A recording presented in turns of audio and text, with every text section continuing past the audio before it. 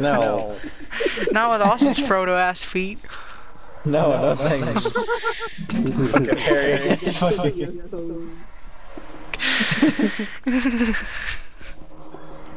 Oh dear. Austin, Austin's never sent any pictures of his fucking- He seriously does though. Nasty.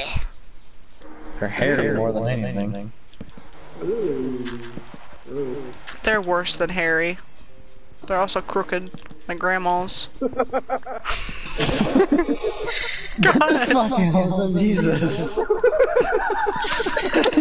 you made me fucking laugh. God, Way Derek. your brother under the bus like that. Goddamn. He makes fun of me all the time. They're also crooked like